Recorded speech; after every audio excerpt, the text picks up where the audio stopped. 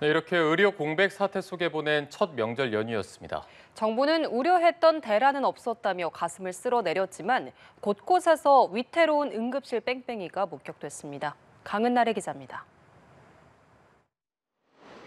추석 당일까지 연휴에 운영된 중증 응급질환 의료기관은 하루 최대 92곳으로 9월 첫째 주 평일 기준 99곳보다 적었던 것으로 집계됐습니다.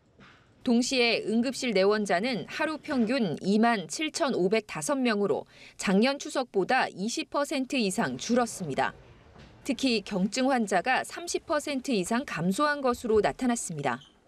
국민 여러분의 협조로 응급실은 평소보다 적은 의료 인력으로도 중증 환자 치료에 집중할 수 있었습니다.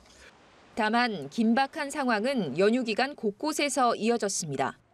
대전 지역 자상 환자가 병원 10여 곳에서 진료 거부당하는가 하면 충북에선 위독한 임산부가 병원 70여 곳을 전전하기도 했습니다.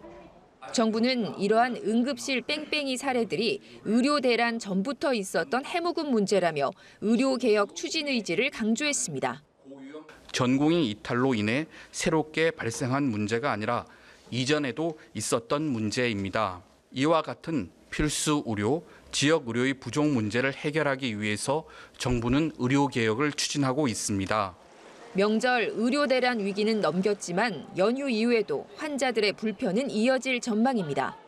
지난달 말 기준 사직 전공의가 만 명을 넘어선 가운데 여야 의정 협의체는 의료계 불참에 출범도 하기 전부터 난항을 겪고 있습니다.